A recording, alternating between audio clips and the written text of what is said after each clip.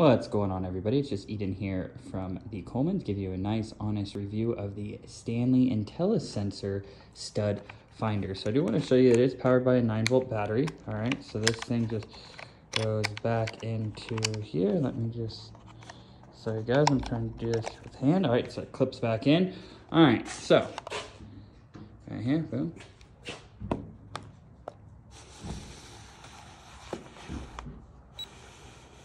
See?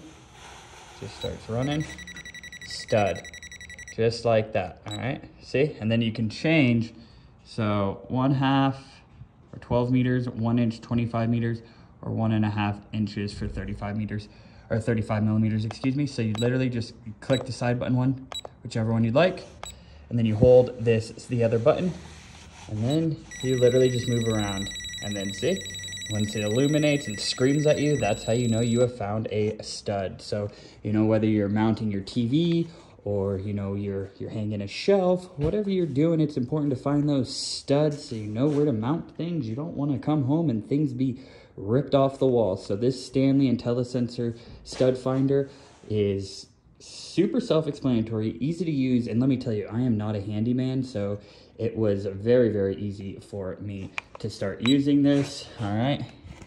And what's great, see, has that line, so then you can actually use a wall marker to mark exactly where the stud is, so then you don't have to guess anymore. So really, Stanley thought of everything when they were making this IntelliSensor stud finder. Love it.